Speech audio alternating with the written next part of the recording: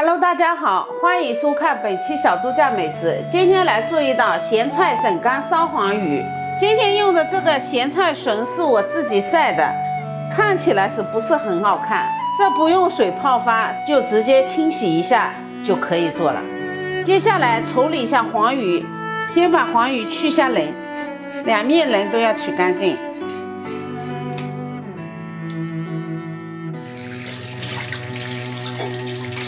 好，洗干净了。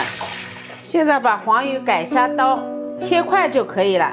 把头先取下来，对半开，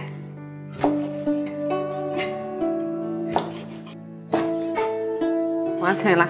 咸菜笋干洗一下，我这笋干比较嫩一点，就不用水泡发了。如果笋老的话呢，晒干以后要用温水稍微泡一发一下。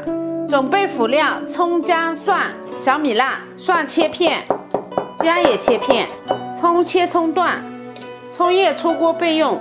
小米辣切斜刀。食材全部准备好以后，就可以开锅做了。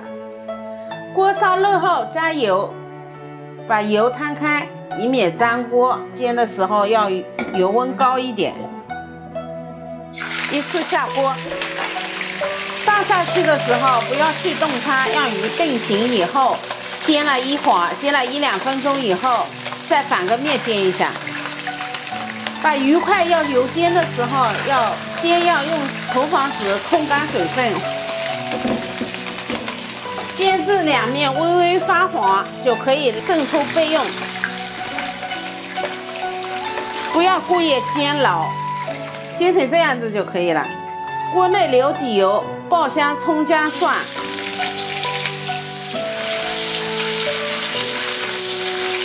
下卤菜干，煸炒一下，把咸菜笋干吸收一下葱和姜的味道，把黄鱼放进去，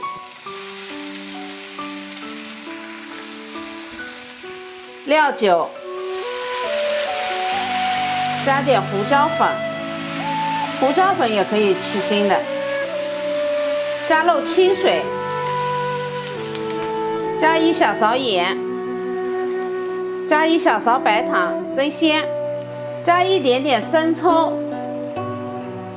稍微有点颜色就可以了。盖上锅盖，煮六到八分钟就可以了。时间到，打开盖子，汁收的差不多了。再加一小鸡精，晃动一下，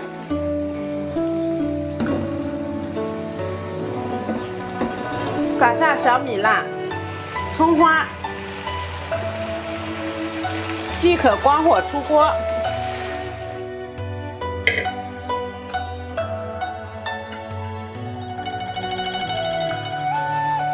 好了，今天这道咸菜笋干烧黄鱼就完成了。黄鱼，嗯，鱼肉细嫩鲜香，做法又比较简单，是一道很好的下饭菜。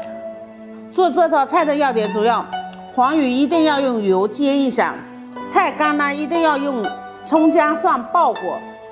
好了，今天的视频就到这里。如果喜欢我们视频的朋友，请点关注和转发。